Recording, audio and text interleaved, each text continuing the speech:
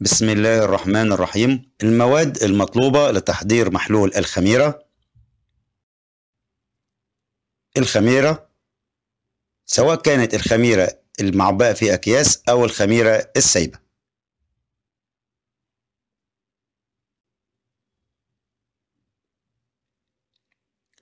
سكر لتنشيط نمو الخميرة. ماء دافئ. درجة حرارته حوالي 30 35 درجة مئوية. بخاخة. ومصفاة.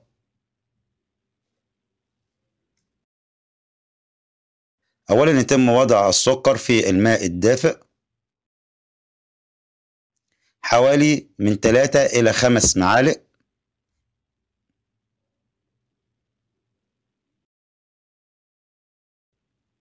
ويتم إذابة السكر جيدا.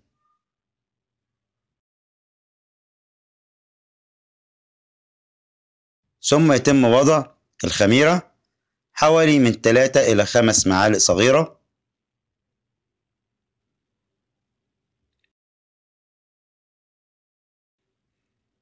مع التقليب الخفيف. وتترك لمدة حوالي نص ساعة. وفي بعض الناس ممكن تسيبها ساعتين. وبعد نص ساعة بنلاحظ نشاط الخميرة.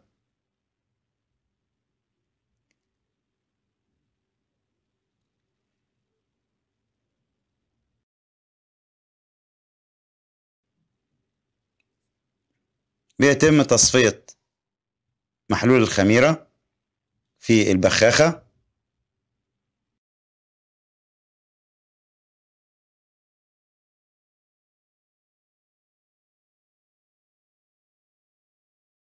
وممكن تستخدم هكذا أو يتم تزويدها بالماء على حسب الرغبة.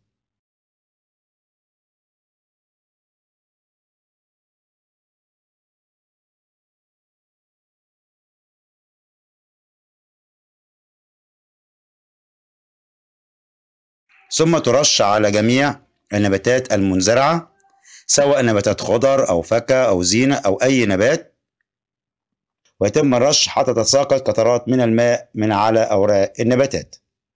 ويراعى أن يتم الرش في الأجواء الحارة أو في الصيف لا إما في الصباح أو بعد العصر ولا يتم الرش ظهرا لذلك لارتفاع درجة الحرارة التي قد تسبب أضرار للنباتات.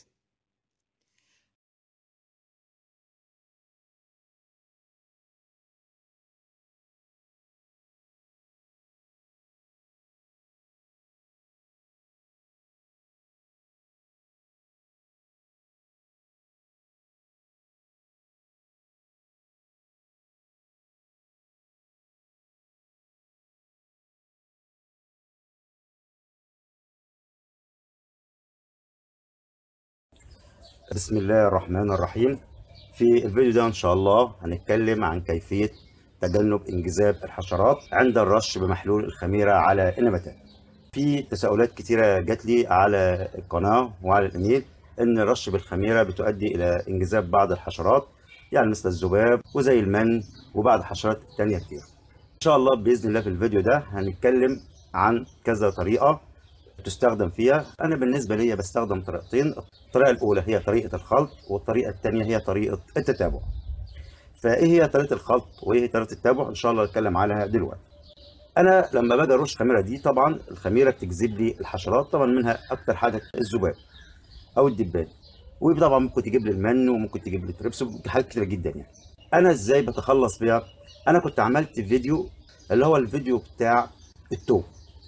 والشطة المحلول كيفية التخلص من الحشرات الموجودة على النباتات أو الحشرات اللي بتجي على النباتات على السطح المنزلية. باستخدام مستخلص من الثوم والشطة وبنضيف عليها بصل وبنضيف عليها قشور الليمون والرابط بتاعه موجود في خلف وصف الفيديو بالأسفل.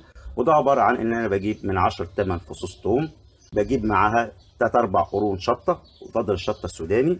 ومعها لو مش موجودة بنجيب القرون الشطة اللي هي الشطة الحريفة وبنجيب معاها برضو قشور الليمون ونجيب معاها ربع بصلة نص بصلة أو بصلة كاملة وبنحطها في ال hand blender وبعد كده بنحط عليها مية ونفرمها كويس جدا جدا جدا وبعد كده بنروح إحنا مصفينها بمصفى تكون ضيقه الفتحات عشان ما يسدش البخاخة بعد كده. وبنضيف عليها قطرات صابون. لكن أنا لو هعمل الطريقة بتاعت الخلطة اللي كان عليها مش هنضيف صابون فيها خالص يا دوبك هنكتفي بالحاجات دي ومش هنحط قطرات من الصابون. بعد كده إحنا بناخدها برشها على نباتات زي ما كان في الفيديو. في طريقة تانية إحنا اتكلمنا عنها. طبعا الرابط بتاع الفيديو برضو موجود في خانة وصف الفيديو. بالأسفل وده اللي هي بتاع قشور حمضيات اللي هي عبارة عن قشور الليمون وفي الشتاء لو موجود عندي البرتقال اليوسفي بناخد برضه قشر البرتقال اليوسفي وطبعا في البرتقال أي حاجة بس يعني ده الليمون البلدي هو اللي بيدي الفعالية الأكبر. باخد القشور بتاعت الليمون دي وبتاع اليوسفي وبحطها في ال hand blender وبحط عليها مية وبضربها كويس جدا جدا وبفرمها كويس قوي وبعد كده بصفيها وبحطها في البخاخة. وهنا مش هنحط بقى عليها صابون سائل الطريقة الأولانية اللي هي طريقة الخلط. بعمل إيه؟ بجهز الأول الخميرة في الدورق وبجهز مستخلص التوم مع الشطة مع البصل. ولو أنا عايز أستخدم زيوت قشور الحمضيات الطريقة التانية. فأنا بكون محضر الاتنين جنب بعض زي ما قدام حضراتكم كده. وبضع الخميرة داخل البخاخة. وبضع عليها مستخلص التوم مع الشطة مع البصل.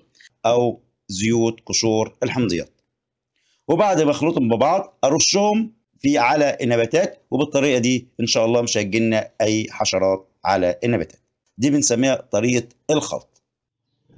فالاتنين مع بعض الخميرة هستفاد بالمميزات بتاعتها وفي نفس الوقت مستخلص الثوم والشطة والبصل اللي موجود هيعمل لي نوع من عملية إبعاد للحشرات والحشرات مش هتجي آه تيجي الأول على الريحة تلقى ريحة الثوم وتلقى اللسعة بتاعة الشطة اللي موجودة هتبعد. فبالتالي مش هيبقى عندك حشرات خلاص على النباتات طبعا هو الفعالية بتاعه مستخلص الثوم هتبقى أعلى شوية من قشور الحمضيات ولكن في ناس بتفضلش طبعا ريحة الثوم فقشور الحمضيات برضه هتعمل لي نفس الغرض وإن كان أقل شوية من مستخلص الثوم دي طريقه بنسميها طريقة الخلط في بقى الطريقة الثانية اللي هي طريقة التتابع.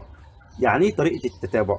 اللي أنا برش بمحلول الخميرة زي ما إحنا اتكلمنا عنه دلوقتي آخر النهار. يعني بعد العصر قبل المغرب كده بروح رش أنا على النباتات محلول الخميرة وأسيبه طول الليل.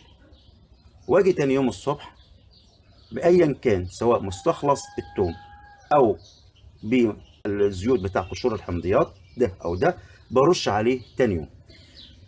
أنا ما برش آخر النهار في الخميرة طبعا ما فيش دبان هيجي لي ولا حاجة هتجي لي بس أنا بستفاد من التفاعل بتاع الإيه بتاع الخميره تبقى لسه موجودة.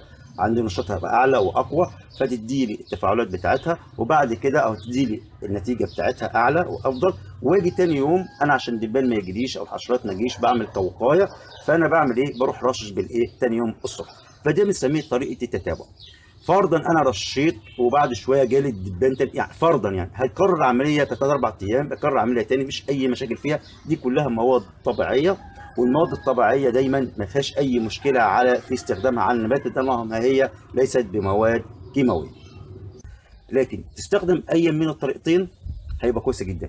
ومش هيجي لك أي دبان أو ذباب عندك خالص إن شاء الله لا من ولا أي حشرات تانية. والحاجات دي مش هتبقى موجودة لأنك أنت عملت المحلول بتاع التنشيط وعملت الوقاية من الإصابة الحشرية بأحد الطريقتين. أنا بس عايز أقول لكم حاجة الدبان أو الذباب يعني. أنا عندي هنا يعني أنا ما بشتكيش من الدبان عندي هنا في زراعة الأسطح لأن أنا أنا زرع ريحان كتير في كل حتة. يعني ورايا ريحان جنبيا ريحان قدامي هنا ريحان. فالريحان هنا من النباتات الطاردة للذباب. هو الريحان ليه ميزة إن هو بيطرد الذباب لكن مشكلته برضو إن هو جاذب لحشرة المن فعشان كده يعني لازم أوازن بين إن هو بيبعد الحشرات الذباب لكن هو بيبقى مشكلته إن هو جاذب لحشرة المن في حتة بس عايز أتكلم فيها مهمة جدا الخميرة محلول منشط للنمو. يعني إيه منشط نمو يعني الخميرة بتحتوي على بعض المواد اللي بتعمل لي تنشيط للنمو. زي مثلا بتحتوي على السيتوكاينين. ده هي بتنتجه طبيعي. واللي هو زي ما لحضراتكم قبل كده إن هو بيعمل لي على زيادة حجم الأوراق وكبر الثمار في الحجم وبيزود لي في النمو وبيدخل يعني إيه السيتوكاينين بيعمل لي على زيادة عدد الخلايا والنمو والنبات فتلاقي النبات بيكبر في الحجم.